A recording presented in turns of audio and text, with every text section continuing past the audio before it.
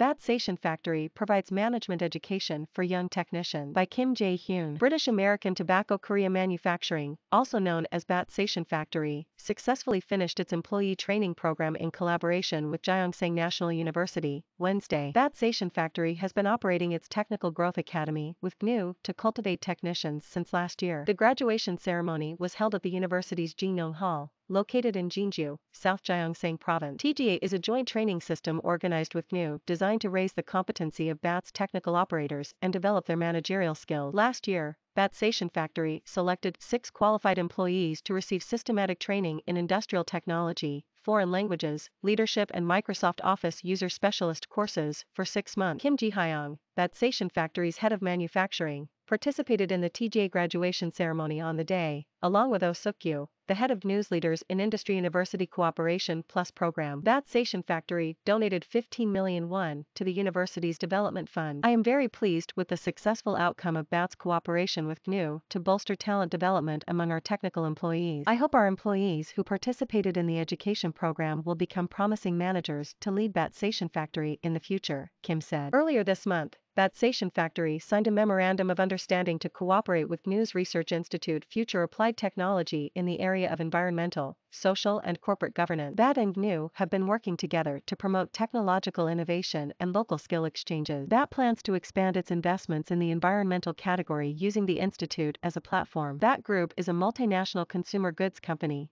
founded in 1902. It runs businesses in 180 countries around the world and leads markets in more than 50 nations. That group has set the goals of going carbon neutral and securing 50 million consumers of non-combustible products by 2030.